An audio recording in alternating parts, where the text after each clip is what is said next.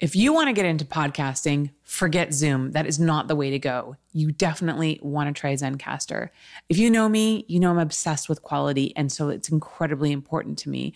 And, you know, not all of my guests are tech savvy, they don't all have the best internet connection.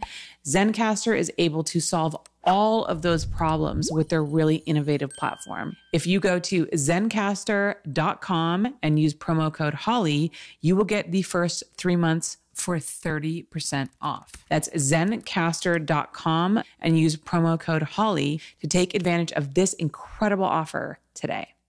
Women generally don't want to date a guy in a wheelchair, okay? So like, you know, we as the public have this idea of like, oh, you have to find like your woman on your own through your own merits. Well, some people don't have all of the benefits that the rest of us do. Some people have like some serious physical setbacks, which is really going to prevent them from meeting someone. And let's be honest, like meeting someone is hard enough as it is.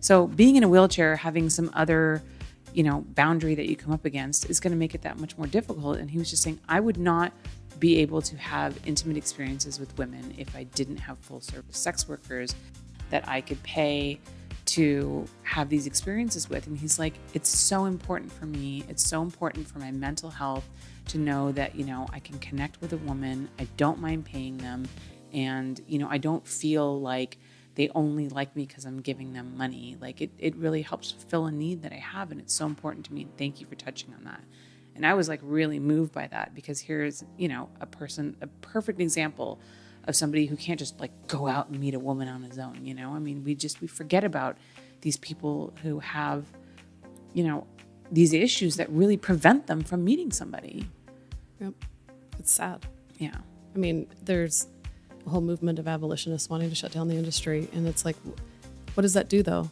Mm-hmm. You know, we're, we're not looking at what's actually causing this.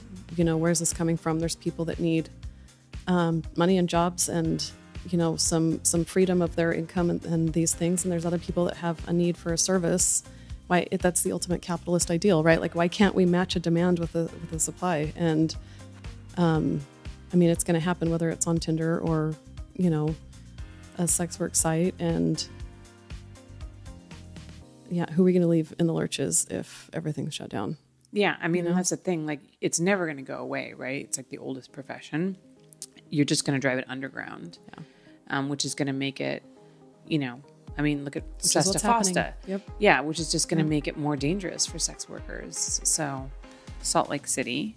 Um, can you tell us what the acronym stands for and specifically what um, this outreach program is all about. Yeah.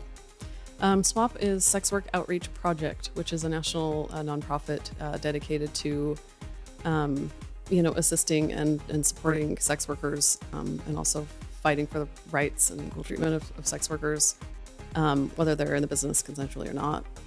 Um, and we, my uh, business partner and I had found a local organization in Salt Lake that was organizing the march after the inauguration um, when Trump took office and the Women's March.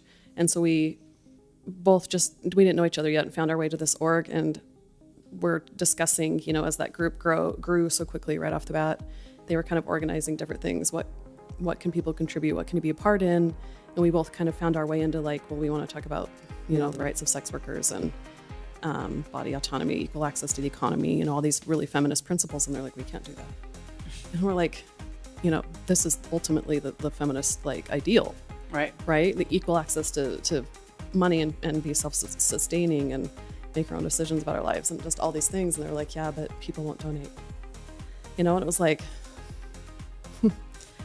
oh, well, we'll do it ourselves then, mm-hmm. you know. And she and I branched off and um, formed a local uh, group um, with as much you know anonymity and privacy as we could, and tried to get a support system underway for people that just needed. And this was about the time that FOSTA um, was coming in. I think that was a year later, technically, when it came in, but they'd already rated Backpage um, before the, you know the laws were even in effect. But so we were like, we need a support system. We need to be able to talk to each other and help help each other, you know, through a lot of this stuff. And so we started a local private group. And then as we were kind of looking around, we realized there was already kind of a national org doing this, that we would like to be a part of, um, so we don't have to, you know, rewrite the whole agenda kind of a thing. Um, so we applied to become uh, a chapter of SWOP National. And for the first several years, you know, we spent hours at the Capitol every session talking through different pieces of legislation. Um, I worked on a bill with one of our legislators that protects um, sex workers reporting crimes from being charged with prostitution, um, like a, you know an immunity thing, because people wouldn't be able to come forward, and like this is absurd. So we got that legislation through, which was helpful. Um, we were starting another one that kind of went by the wayside with COVID, but ho- hopefully getting that back in place about um, police officers not being allowed to have sex with people in their custody. Another no-brainer, but that's not a law in Utah. Really? Yeah, there's only like 13 states, I think, that have that as a law, which is absurd. And so what would happen is a lot of times they'd be like, well, if you don't, you know, sleep with me, I'll arrest you. Wow. I'll take you in, I'll book you. So it's like, well, do you want a record and a fine? Yeah. Wow. Yeah, and there were some situations, um, like one back east, where a woman was in that in that position, and I don't know the story. I wasn't there, but it sounds like from the media accounts that, you know, there was some um, fight or something that broke loose, and she was shot and killed in the cop's car. You know, in his custody, having sex, and it was like this this can't happen. If you want to get into podcasting, forget Zoom. That is not the way to go. You definitely want to try Zencastr. If you know me, you know I'm obsessed with quality. And so it's incredibly important to me.